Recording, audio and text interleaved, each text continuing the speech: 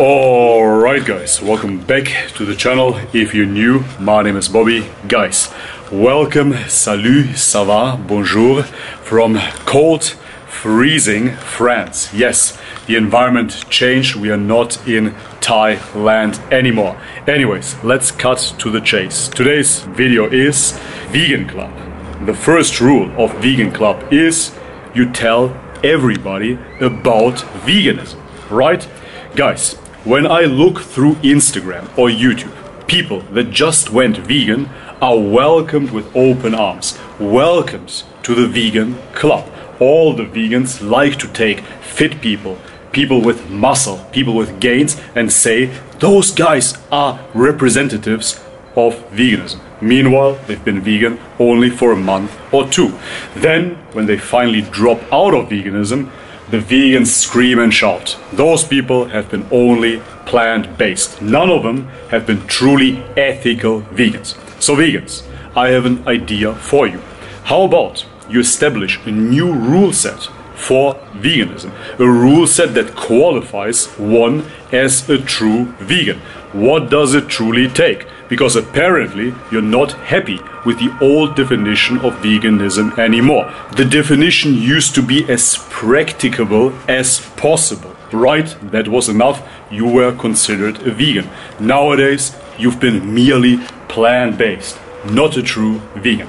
Guys, make up your mind. I suggest to you, why don't you have a apprenticeship for veganism? Why don't you have a trial period for veganism? How about a three year trial before somebody is truly considered vegan? I say it is better that way. I say that you shouldn't be allowed to call yourself vegan if you haven't been vegan for three years straight. At least.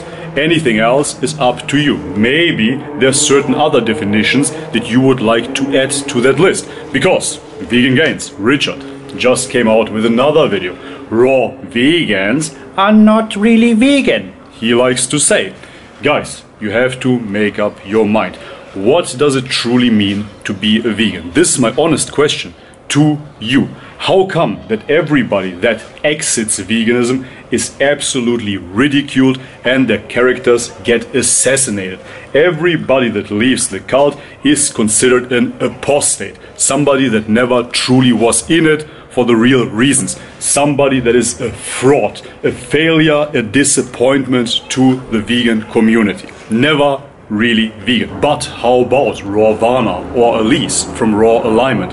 When they were vegan, everybody admired them and everybody was happy to use them as healthy representatives for veganism. The same goes for Tim Shieff, of course. Tim Shieff was the vegan prince. Everybody admired Tim for his athletic performance, and he was the representative for veganism. Everybody was happy to have him on board. Man, they put him into Game Changers, the vegan documentary that literally should change the world. You were happy to have them, but now you dismiss them, now you discredit them, now you claim that those people have never been vegan. Possibly you need a belt system, like in Jiu-Jitsu. There are certain attributes that you need to accomplish before you become a blue belt, before you become a purple belt, a brown belt, so on and so forth. You need a certain point system, a mechanism that can qualify one as a true vegan. I truly mean it. I would like to see the vegan community step up, really step up and define what you need to accomplish before you are considered a real vegan. Alright guys, and this is it for today's video. Just a quick one. I'm trying to bang out as many videos as possible, but I'm constantly on the move right now. As I said in my live stream, it is still very, very busy. Next destination will be Germany. Hey, maybe we can do a meetup with the viewers because I know for a fact many Germans are watching. Alright, but this is it for today's video. As always, guys. Ah, I forgot something. If you liked it, leave me a thumbs up. If you haven't subscribed already, please do so. And as always, guys, much love and peace.